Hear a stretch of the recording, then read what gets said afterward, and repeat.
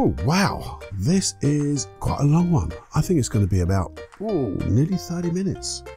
So I got into it. I really did get into it. And it's all about how emotions create other emotions, and I share some real personal stuff again, and a lot of real how to's to really make a difference in life. But understand, understand what you're doing is trying to do something good for you, even if it's crappy. It's really trying to do something good for you. Find what it's trying to do and then change because you can. Okay, that's the short bit. Have a listen to the next bit if you're new to this anyway. And if you're not, skip forward about a minute and a half and we'll get right with it. Ta Hey, my name's Paul Clough, and I'm part of this thing I've called Unplugged Personal Development. It's a niche of one, the Personal Development Unplugged podcast. You see, in this genre of personal development, self improvement, of becoming a better you, I believe things have been made way, way, way, way too complicated. And I wondered why. And I don't think it's to make people like you or me feel better, feel good. I think maybe it's for the people who made it more complicated to feel better about themselves. And I don't want any part of that. So that's why I've created this podcast, the Personal Development Unplugged podcast. And it's to break down these complicated ways. And I want to produce and develop powerful, new, yet simple ways.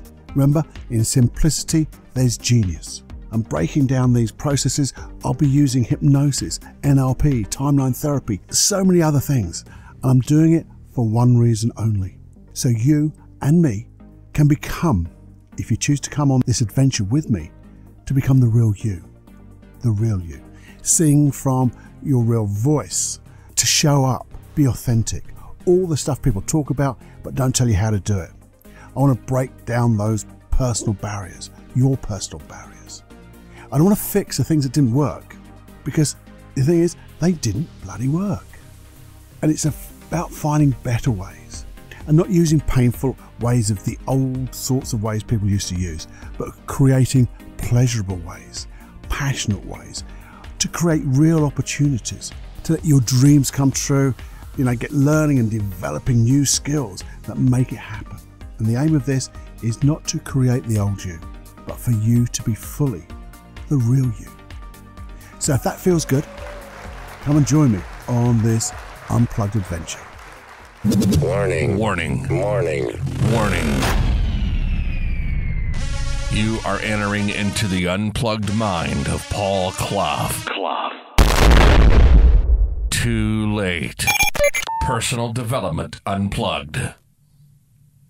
Hey, how are you doing? How are you doing? Now, this podcast follows on a little bit from the podcast we did about your armor. What's your armor? That was number 87. And you may, well, you will, you may need to use Old Jenny Journal to make some notes. Make some notes on what I'm going to talk about, and then obviously we're going to use Jenny Journal to explore because that's one of the things. You can what can you learn when you start to just stop and explore things and explore things about yourself? Because you know you can actually change anything. You just have to just really be honest with yourself. And we'll go into that in a minute. And we've talked about that before. But you see and as i say as I, and i've said before nothing changes in your world if you don't change first. And this is all about recognizing the things that need to change. You see, I was listening to this uh, this person called Terry Crews, and they said, "Courage begets courage." I don't know whether how many people use the word begets as opposed to a sandwich roll, but as a baguette. But anyway, courage begets courage, and then that brought me a memory of the FMQ we did about being honest. You know, you can't lie to yourself. You're the only person you can't lie to. You can try, but damn, it just doesn't work anymore because you know it. You know it truly. And the thing is, if this thing called courage begets courage, which seems to ring a bell, it resonated with me. You know, it began to bring a few memories back, all the things that, you know, I wanted to do. And it even made me think of all the things I want to talk about today. you see, if this is true, then every emotion, every emotion that we stay in, will beget the same emotion. So if you're on this wonderful courage begets courage, because it's a way of getting away from fear, then fear begets fear. Isn't that so true? Because when we're in maybe a fearful state, we just tend to see the things in our mind. We imagine things of a fearful outcoming and what we're scared about, get those emotions even more deeper, more. We just seem to have them everywhere. And then we start to see other areas in our life that we can be scared about. Yet, when we're in a happy state, everything just seems to be sunny, doesn't it? Everything just seems to be okay. We get what we want. Or even if we don't get what we want, we're just still happy. You know, we, we just feel that it's, well, it's okay. So then I began, I began, I began, beget, began. What emotions are, am I begetting? And what emotions do you think you're experiencing and continuing to beget? That's a weird word, isn't it? But anyway, you know what we want. So I also got to think about is this part of your armor? You know, are the emotions that you are are feeling on a more consistent basis, certainly the negative ones, are they part of your armor? And we discussed that, I know, but only in brief on that five minute quickie. But you see, I had to think about what type of emotions do I use that I don't enjoy, that I know aren't really working for me. So guess what? I got my Jenny journal out because I do. I've got loads of, them, as you know. And I started to think, you know, when things aren't going well for me, and this is like, this is my honesty bit, because I can't lie to me, and I'm not going to lie to you. Where, what is one of my default systems or, or emotions and behaviors that I use that really doesn't work? And what I thought about it is, hey, Paul, you get really passive aggressive, you know. And I, didn't like to admit that to myself because, you know, I hate passive aggressive in anybody else, which is probably why I see it in other people because it's like this the teacher's there, waving its big red flag at me saying, hey, Paul, this is what you don't like. You better change. But do I see it? Nah, I just get passive aggressive. You know, and it makes me go aloof as if I don't care. But the thing is, I really do care. And that's the lie. There's also the conflict because I'm putting up this, this barrier, this passive aggressive barrier. You know, it's not a sulk, it's a major thing, a major, major sulk sulk. And I really do care. But it's like when that, this, you get involved in it, you, you start to live that part of passive aggressive and it seems to grow. And that's when you see all the things that are creating it in you and makes it even worse. So you start to see the negative side of, of the injustice to you and all that stuff. And everybody's against you, so you get even more passive aggressive. Well, I did. And I'm working on that. And you see, this came about a little bit even more because, oh, just to rewind a minute, you know, what does that passive aggressive do when I do really care, but I come across as I don't really care? Well, it pushes away the, the people I want to be with. You know, I want to share things with, but it just somehow doesn't let me and it pushes them away. So when they're pushed away, they don't want to hear it because I'm a bit of an ass. Well, not a bit, a big, a big one. But anyway, here's another little secret. I've been having some one to one coaching. I'm not going to tell you what for, but it was new for me because I do one to one coaching, obviously, and to be on the call it the receiving end or whatever, it was well outside my comfort zone because I haven't done this for ages. But it was brilliant. It was brilliant. But the weird thing was what we started talking about, as usual, wasn't the subject because it never comes through the door. Remember that. And it was about I can go very quiet. And even when I'm quiet, even, I don't know if you noticed in some of the other podcasts, my voice trails off into nothing like that. And that, just like that. I did that deliberately, deliberately, by the way. And it trails off as if I'm not interested. You know, no small talk. And we were, it got me thinking that when I'm with people, I don't entertain small talk. And I seem to just switch off. And I wondered, I wondered about that. Because when I'm with a group of people who I really want to be with, I seem to be so disinterested in it. But I'm not. But it's as if, well, this is what I came up with in my Jenny journal, is, you know, I don't want to expose myself.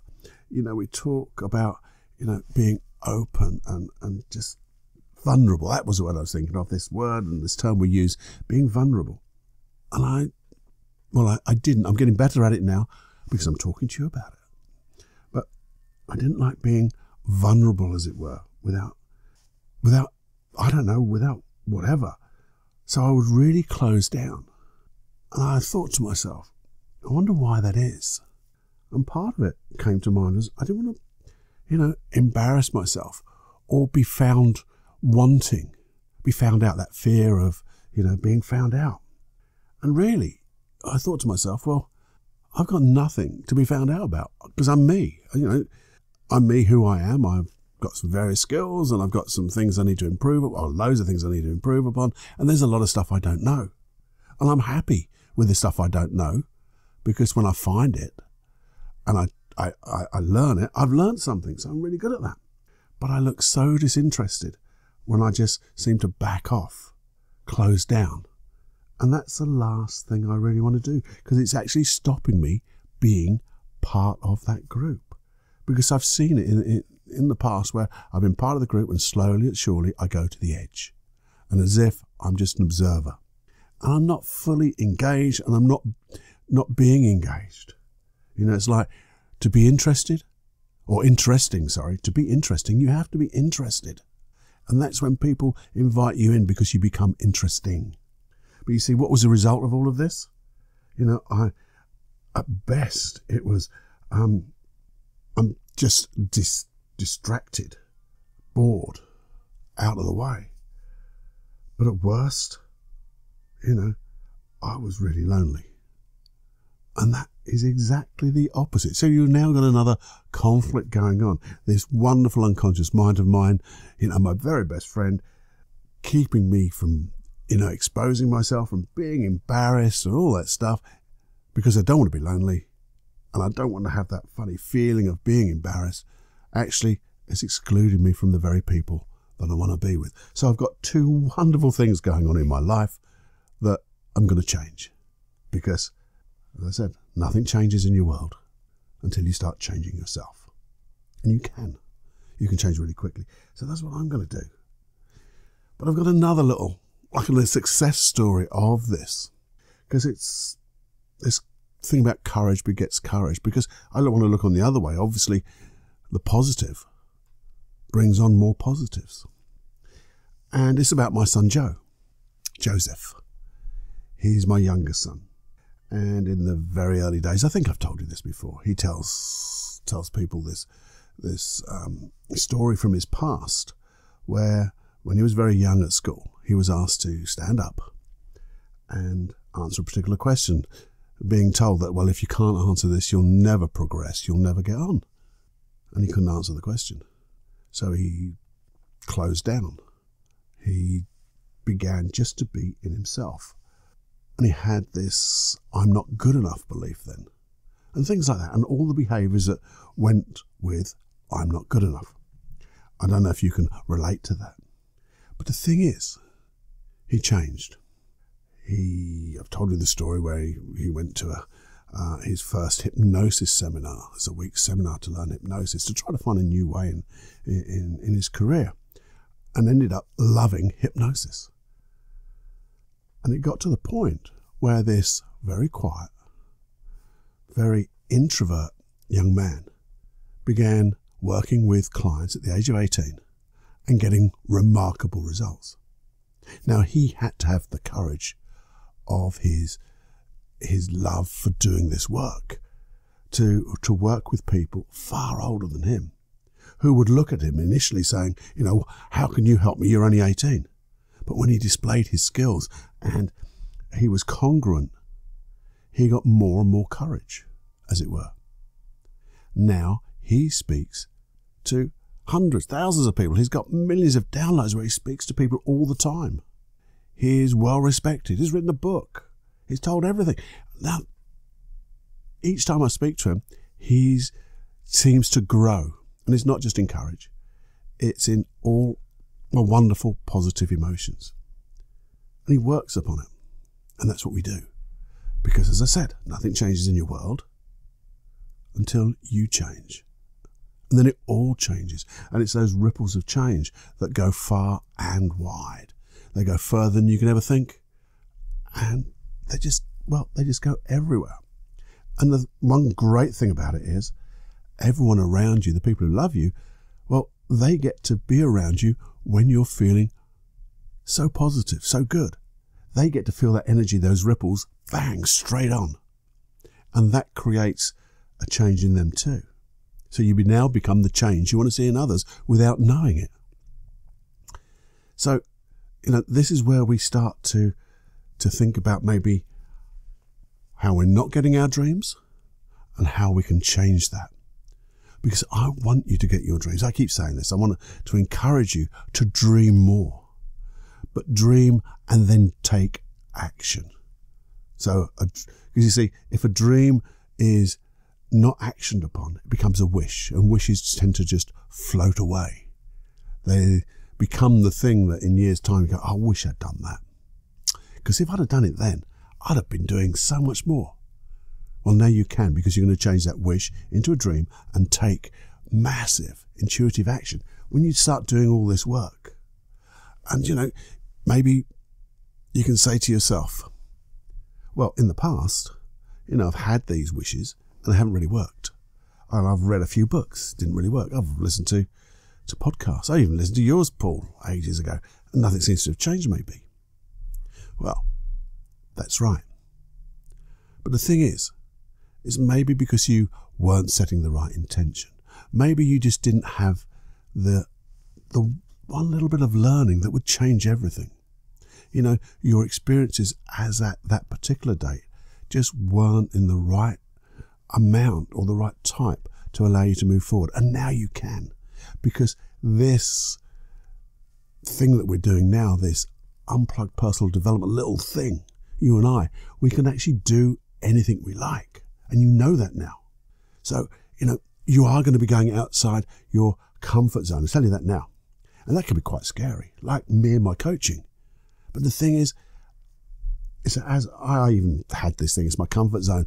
And then I had to think about what I've been talking about. And what I've been talking about is it's not a comfort zone, it's a familiar zone. This is what I'm familiar with. And when I go past this familiar zone, yeah, I'm in the unfamiliar. And it's bloody good. There's so many wonderful things out there. And until you go through that self imposed imaginary barrier that isn't there, and you go, was that it? Is that all there was? Man, I'm going to learn so much. So that's what I want you to do. So where do we go from here? Here's a little bit of the how to. Well, you see, you can explore these things in your mind, and that's okay. But I find when I just explore things in my mind, they tend to disappear because I have a good thought and then I have another good thought, and that first good thought seems to just disappear for a little while, and I sometimes forget about it, or it comes up at another time when I'm not quite ready for it. So it's good to write things down. So, Jenny Journal. Explore what emotions and behaviors, and we're talking about the negative ones to start off with, do I use? Because you do use them. They are just behaviors. And we can change any behavior at any time. But we need to explore them first. So let's explore, like I did, about, you know, that what's the emotion or the, the behavior I dislike in myself. That was my passive aggressive. So we write that down. We get to think about times in our life when we did that. And we can start to think, okay, I wonder what the intention was. What was my unconscious mind? What was that behavior? What was that emotion trying to do for me? Now, I think if, if you want a little bit of hypnosis for this, I've got, got one, I think it's number hashtag 87, where It's really about exploring your intention with your unconscious mind. So you could think about it, write it down, and then need be just listen to that hypnosis track. You know where it is. For those of you who aren't there yet, and there's more people coming every day, it's paulcloughonline.com forward slash podcast. Yeah, put your email in. I tell you every time. Doesn't go anywhere other than to remind you of the next one. Hey! So, start thinking about, you know, what is this thing trying to do for you? What is a positive uh, intention? And then it's when you do that and you notice that conflict between intention and that negative behavior or that negative emotion will allow you to think, hey, I love that intention. How can I use and how can I get a different way? And I've even got one of those because that was my next point. You ask, how can I get this intention a better way? So you can explore what, you know, consciously in Jenny Journal, what type of emotions or behaviors would work better. Here's a clue. Say you were frightened of heights. And most people who are frightened of heights only use fear as their emotion. They use panic. The behavior they use is panic attacks and constantly worrying and thinking and thinking and worrying and showing pictures of stuff in their head that will never happen, probably. Well, it won't happen because you're so bloody frightened you're not going to go near a curb, let alone anything higher than two foot. But think of different things. You know, calm, observant. Two lovely ways, you know, being aware, having awareness of your surroundings, having safety, a time when you felt completely safe, so you could look calmly and peacefully at a situation and make a considered proper decision to be safe. Now, there's some wonderful new ways. And when you do it consciously, you're starting to tell your unconscious mind, this is the type of things I could do. Now, what you can do, because I did it in, um, I think it was number 86, Flooding the Right Way. I think that was 86. So the two of them, 86 and 84. 84? 84. And they've both got hypnosis tracks on that same place where you can start to explore different ways without actually having to do the thing itself in real life.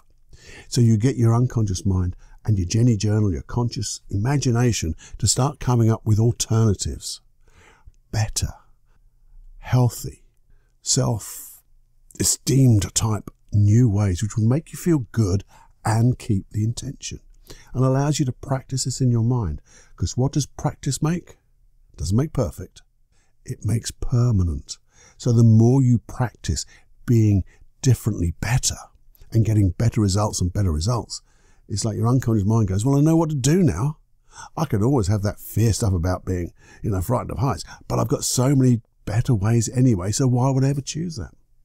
So you've got so much to do. You, see, this thing about practice making permanent. There is a, a metaphor, a metaphor we use in a lot of our trainings about, you know, when you go down your garden path, not the not the, the path which is um, nicely paved and things like that, but when you just walk down a path, you make a path, don't you? You know, through the grass, and it becomes first of all you start walking, and some of the grass starts parting, and then the more you walk, you can actually start to see where the grass starts to disappear and that path develops. And you keep going over that path over and over again. And that makes it permanent until you change. So you can now make a different path here. You can go to the right and make the right path. Ha, there you go. Isn't that great? But go, go down the right path. And yeah, the first time, it's a little difficult. It's a bit clunky, a bit conscious. But then you go down that path again. And as you go down that path, and this is what this hypnosis does about finding these new behaviors, gets you to repeat them. So the more you repeat them in your imagination, it's like those synaptic gaps start firing elsewhere and creating new neurological pathways, which means then the old path starts to grow back again or grow back again. The grass begins to grow back again and the old path disappears and you begin on the new path. And that new path can be many, not just one to the right. It can be hundreds of right paths. Being ready to choose the most appropriate path for you. Hey, that was a good metaphor, wasn't it? That's what I'm doing anyway. You know, on my coaching and what I'm thinking about this passive aggressive. How can I stop myself? How could I be better? How could I show myself? Be more authentic. And I hate the word authentic, but your your authentic self, your um, aligned self, and show it knowing that you're going to be safe. You know, trusting, because I was working with one person. Uh, this is an aside now. Working with a client just the other day, and one of their learnings they, they came up with about they didn't trust this particular person. And we looked at that and thought, well, is that really a learning? Not trusting one particular person. But the learning when we turn it on its head was to trust ourselves. Because when we trust ourselves, we can make the right decision. And that's the way. So that's like the takeaway from this. And I know this podcast is going on a little bit longer, but i I just feel it's the right thing to do. You can do anything you like as long as you know what you don't like and what, and what you want instead. And what we don't do is throw away the intention. When you honor your intention, so you say to your unconscious mind, look, I understand you're trying to do the best for me. I want you to do the best for me. I thank you for doing the best for, you know, the best we could do through all these years. But now it's time to change, to continue doing your best for me, to continue with this intention, but to find the most wonderful new set of behaviors, beliefs, um, emotions that make this even better than the old way.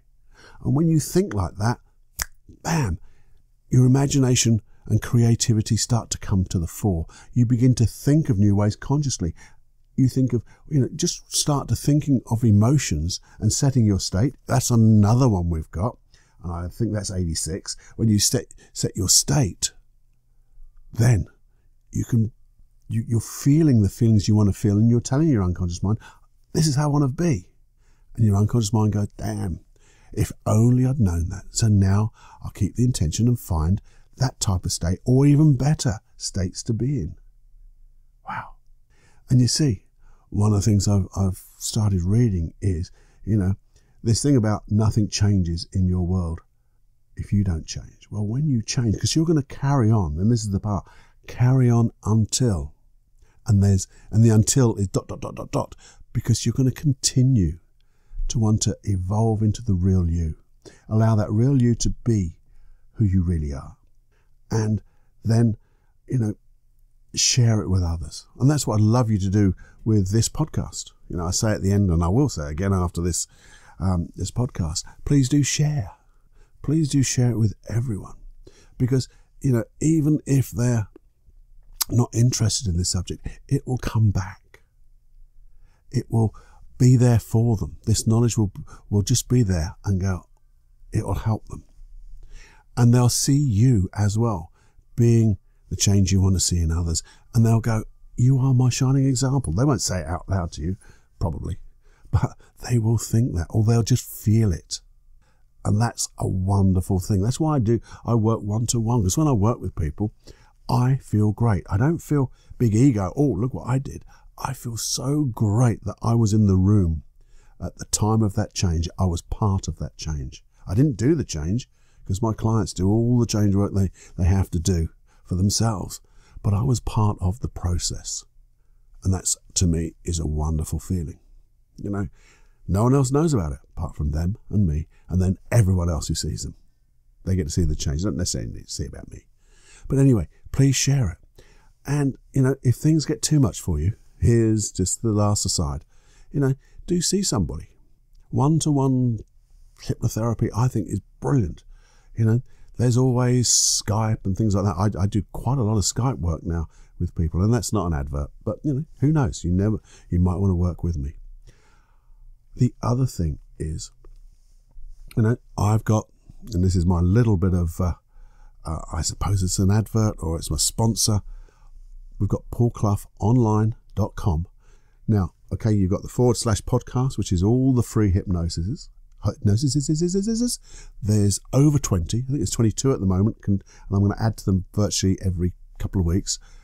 But on there, you've also got your Supreme Inner Confidence course, your Free Your Life of Anxiety course, and there's two paid for hypnosis um, courses uh, or, or, things. Uh, have a look, have a look. You know, the Free Your Life for Anxiety course, the first five days, D's, the first five days are absolutely free. Man, and, and a lot of people will actually get their result in those five days. And then if you want to carry on and do some more work with me, well, there, there, there's the next part of it. But there's also money back guarantees. So you've got nothing to lose on any of that. And that's what helps sponsor this show, this, this thing. Me, my will, my love for helping change the world, and you, and you. So please enjoy every heartbeat. If you want to send me um, your best, they call it the takeaway from this uh, episode, please do email me, paul at paulclough.co.uk. I'm on Twitter, pcluffy. I think, you have to put at pcluffy? I don't know. But it's pcluffy anyway. You'll find it on there. And yeah, just have more fun than you can stand. Enjoy every heartbeat and make the ripples of your ripples of change go bigger and wider through just being you. Share and let's share all our learnings with everybody. We have a field, the integrated field of learning. It's free because you get it back more, 10 times more. The more you put in, it's like abundance. The more you take from abundance, the bloody stuff keeps growing. It doubles. Every time you take a bit out, poof, it's doubled again. Magic and magical. So, until next time, this is Paul saying goodbye and good mental health. No, and I look forward to speaking to you real soon. Okay. Enjoy your life. Bye bye. Hey, shh. Just before you go, and don't tell anyone else, because you know you're my favourite. So this is just between you and I. There's loads to to share on this podcast, but I only want you to share it to your best friends and everyone else. yeah, because it would be lovely to share. And guess what? Please do email me email me anything, but email me any questions, anything you'd like me to discuss, any issues that you have that you would like me to just come up with a process for. You know, it'll be anonymous. I'll keep my name out of it. and remember, if you want any hypnosis tracks, we can do something around that too, because they're all going to be at paulcloughonline.com forward slash podcast. They're all free. And let's just make a massive library of them, but it does help if you share this as well. Okay? Have more fun than you stand. And, oh, damn, nearly forgot. Go to iTunes and subscribe because that helps the ratings. And leave a review if you would. A nice one, obviously. Well, just your honest review. And that really helps too, just to help spread the word. So just be the best you you can because I love you for it. Bye now. Personal personal development, personal development, unplugged, um, um, unplugged, um, unplugged, unplugged, unplugged.